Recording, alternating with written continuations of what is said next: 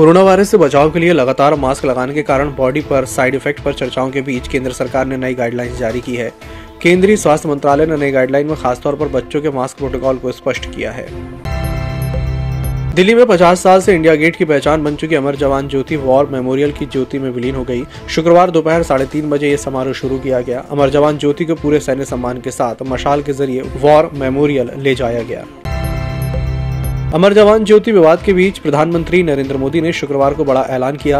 उन्होंने कहा कि यहाँ पर नेताजी सुभाष चंद्र बोस की भव्य मूर्ति लगाई जाएगी।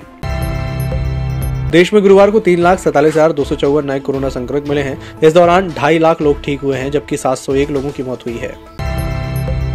भारत में कोरोना के बढ़ते मामलों के बीच Indian council of medical research के टॉप साइंटिस्ट समीरन पांडा का एक बड़ा बयान सामने आया है।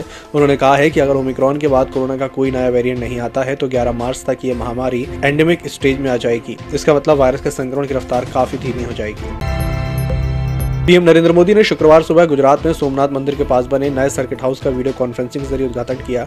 ये भवन 30 करोड़ की लागत से तैयार किया गया है। इस सर्किट हाउस को आधुनिक सुविधाओं से लैस किया गया है। यहाँ वीआईपी और डीलक्स कमरे भी उपलब्ध हैं। ईएमएस टीवी के यूट्यूब चैनल को सब्सक्राइब करें और बेल आइकन दबाएँ। साथ ही ईएमएस न्यूज़ ऐप डाउनलोड करें।